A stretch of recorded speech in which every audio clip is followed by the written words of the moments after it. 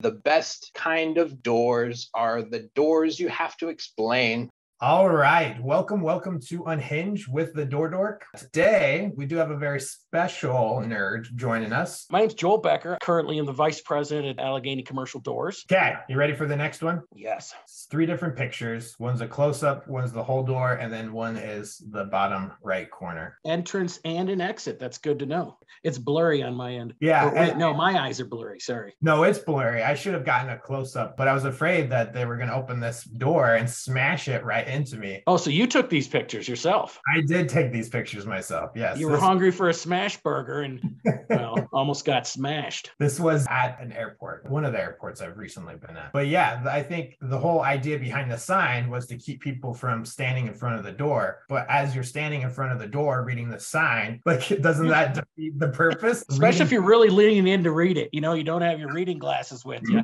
they must have a problem with people getting hit by that door quite often. It, it takes multiple incidents for someone to put up a sign like this. So I'm sure this isn't their first rodeo. Oh, certainly. I like dearest passengers. What a way to start it with such concern and passion. So where is this leading into the smash burgers? So this is like a back door. So this is an entrance and exit. I'm guessing this is probably their emergency exit, which makes me concerned that this is also like a loading section as well. So this is like on the other side of the hallway. So there's the main entrance, which is around the corner, and this is like the employee entrance.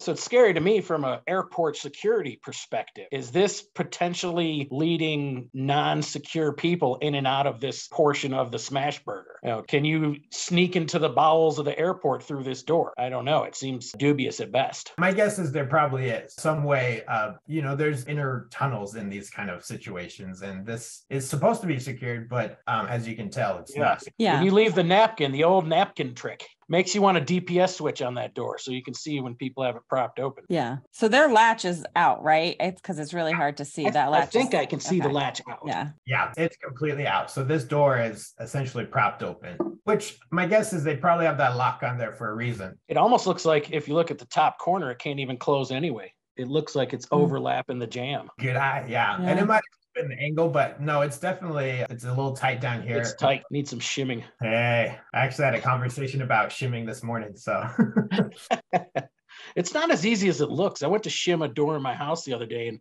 I thought, wow, after being a professional for 30 some years, it's supposed to get easier, but I'm it probably took me an hour to, you know, go to one hinge, then the next, then back to the other one and get everything right. So hats off to the installers out there. Yeah, it's it's almost an art. You kind of have to like feel it out a little bit and you have to like picture in your head beforehand. So if I shim the which ins- way is gonna turn back and and tighten and drop the top or raise or lower. Yeah. My daughter was actually giving me a bit of razz, like, I thought you're supposed to be good at this, Dad.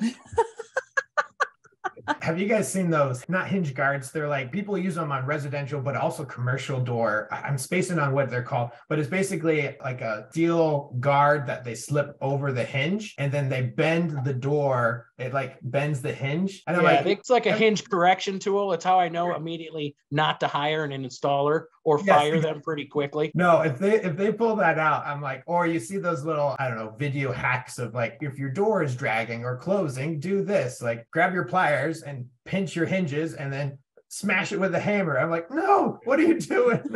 Old schoolers will use a two by four in the same type of wedging motion. But yeah, they took that old school Jimmy rigging and turned it to a new schooling with that tool. And yeah, unfortunately, I've had people even recently using that and busting the hinge plates off the frame and then saying, oh, defective materials because it was torqued on with that hinge tool. So, yep, I'm unfortunately familiar with that. Unfortunately, indeed. Because that's what it really does. It just puts torque and bends the hinge plate on the frame So you think you're getting it to work better, but really what you're doing is destroying the product that was right in the first place. Yeah. And especially if it's fire rated or something like that, that like just defeats the whole purpose and it's more likely to fail in that environment. Yeah. Easier to grab a tool and bend it and beat on it than it is to shim it and do it right. I really like the Steel Door Institute's guide to how to shim. Every time I need to shim a door, I always pull that out. I'm like, okay, how do I want to do this? so the Steel Door Institute guide to how to shim a hinge is a fantastic resource for people out there. Agreed, agreed. But other than being dirty and, and propped open and a bad sign, there's not much wrong with it. Yeah, I agree. I thought it was just a little funny that I found it in my points of travel. One other thing from a security standpoint is they have this peephole there for a reason. And maybe it was because they're supposed to look out before they smash into any passengers out there. But often you see those when there are security risks, right? You want to check and see if someone's hanging out behind your back door and they're going to jump you as you exit. So my guess is this probably has access to like their safes or their petty cash or something like that. So what airport was this? I'll go check it out. Yeah, right. I think it was Minneapolis or or Detroit. Th- those were the last two that I were laid over. it. Well, I don't think I'm going to Minneapolis anytime soon, but if it's Detroit, I'll give it a look see. All right, find the smash burger and uh, see if you can smash Start snooping around. Okay, knocking score. Not too knocking bad, but a little unique, right? Yeah. If I go first, I'm going to say if you take that paper towel or wad it up, whatever, in the bottom and it closes and locks properly, it looks like your typical industrial door after a good five, ten years of abuse. So it's not in that bad of condition. Again, assuming it can close. So I'm going to go up there with a seven. Okay, not too knocking bad. Yeah. So again, same as Joel. If it's not out of sorts, I think that it's a low, you know, it's a low risk. I it should latch, it should remain secure. So this would be low rated for me. Okay. Hoping there's NRP hinges on that if it is if this is the secure side. Yeah, I should have gotten Mm. closer, but you know, I was afraid to get smashed. Smashed. Maybe you're the next burger that they make. Wouldn't you have to say I got smashed at Smashburger? Okay, let's jump into the next one. Are you ready? Yes. Oh my Well, goodness. all I can see is the weird mural on the wall next to it. yeah. Or is that the door we're looking? That's the same door. Okay. That's the same door. Uh, The the weird mural is the door. I love it. Well, I don't know if I love it, but I've never seen a tiled mural door before. That's probably pretty heavy. Do we know what that full mural is? Uh, I should have gotten a bigger picture. This is at a convention center, so it's a very large building, and this is an exterior emergency exit for people to leave in a panic situation. That's an Uh, emergency exit. Oh, so they're Are they- coming out this direction. I'm on the outside. They would be coming at me. Okay. Is there a panic on the other side? Yeah, it's a worst panic. Biggest concern that I see right off the bat is going into it. It has no pull of any sorts. So if there's any sort of friction, you're putting your key in, turning it sideways, and using the cylinder as your pull. So you can put a lot of stress on those pins, and that's going to start to fail eventually. But you do see people doing that all the time, whether there's a pull or not. They've got a coffee in one hand, you know, going up to whatever door it is, and they use the key and the cylinder to open the door. Not the right way, but you know, how soon's that going to fail? Who knows? I'm sure every locksmith out there, if they had a nickel for every time they had to pull a key out of a, a night latch uh, function, Exactly. a lot of nickels. That's that's probably keeping a lot of our brothers and sisters in business. So Now, does it close? Because it looks so tight, and in both pictures, it's not closed. I was Uh, like shoving on it and I couldn't close it. okay, so you went and gave it a good old kick, and nothing happened. Well, that's going to really drop its score now. If the door doesn't serve its primary function of at least closing, you know, let alone latching, securing, closing on its own, etc., it's pretty useless if it can't even shut completely. You had one job to close and secure, and it's not doing it. And I can see the hinges. You know, if you're trying to make this invisible mural, make them invisible so you can't see them. And some of those invisible hinges, like the concealed hinges, have a higher weight limit on it as well, which would have helped with this. It, this is a very heavy door, and I'm guessing that's probably why they're having issues with it not latching as it's starting to sag. Yep, I would agree. You can see it's like grinding on the half bottom. in, half inch lower and dragging on the ground. Yeah. Which would make sense with a heavy door like that. I mean, yeah, they're heavy duty hinges, but over a few years of such a heavy door and people using it, that's going to start grinding. And this is Denver. This is downtown Denver. So the Okay. elements are involved as well. And the good chance is it, it's not the hinges that are sagging. It could be the frame and the wall itself. When you have something that heavy, I would certainly add a little more girth, maybe make it four hinges or five inch hinges. A lot of things you could do to this to make it more self sustaining and hold that weight. Even now that I think about it, just go with some pivots. Yeah. And I think pivots might even be a, cleaner look for the, the mosaic that they're looking for as well. Yeah, you could hide a bottom pivot could hide it in the bottom, and then the top pivot could hide it in the bottom. You just need an intermediate or two that you'd see. and that Um, might be a good question for the men and women out there in the door and hardware world is do they make a concealed intermediate pivot? Ooh, Please see comments below.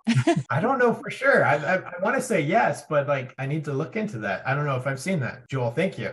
You've given Well, you know, Uh, if there's a configuration, you know, someone's asked for it at some point. It's just whether it, it's been viable enough to produce. But then again, I don't work for a major manufacturer. Ooh, ooh, that's a dig. I like it. I like it. the th- one thing that I'm thankful for on this, and I know it's a night latch function, so that's what this is, but we have seen other emergency exits that actually have a deadbolt and are locked. So I'm just thankful that this isn't one of those. so, which means that you can have free egress from the side that you're supposed to have it from. Good point. But also from a security standpoint, you know, I always like taking the security side. This is a great way for someone to break into your building right now. Yes, because it, especially if it's not closed. since it can't close, good way to break in. If it was closed, this is a perfect anti vandal. Very hard to get in there. So how thick is this door? Standard. Yeah, it Okay. wasn't too special. Just the tiling on the outside added just a little bit, but not to anything crazy. So inside's just a standard hollow metal door. Yeah. Interesting. Well, Not too knocking bad, but probably probably a little higher scoring. What what do you guys think from a knocking score? Well, the fact that it doesn't close at all, I'm guessing there's no fire rating since it's an exterior, but it might because it could be close to other things. It certainly doesn't pass that test. It doesn't close. That's another ding to it. There should be some sort of pull, but I get it for artistic impression. You want to break keys in it, but it still doesn't work as well as it should. I, I got to go down to like a four. Yep, that's my final call. Yeah. Not I'm not too knocking bad from a life safety standpoint, but from a security point and like the door not doing its job, there's a concern. Yeah, I'm just I'm middle of the road five because the security's not there, but life safety, we can easily get out. Easily get out, easily get in, not easily closed. All right. Well, thank you, Joel, again for joining us today on Unhinged. Pleasure having you. Thanks for your insight. I think we all learned something a little bit new today. Make sure that you join us for the next episode of Unhinged. Our doors are always open, partially because they're unhinged. Love it. Well, I thank you both for having me. And definitely, if you do decide to have the happy hour slash cocktail door type of meeting, you know, six o'clock on a Friday, do invite me. I can get much more colorful with a couple, you know, beverages. Unhinged after dark. Exactly. Ooh. I like it. If you want to be featured on a future episode of Unhinged, or if you have a photo to submit, leave a comment down below. Thanks for watching.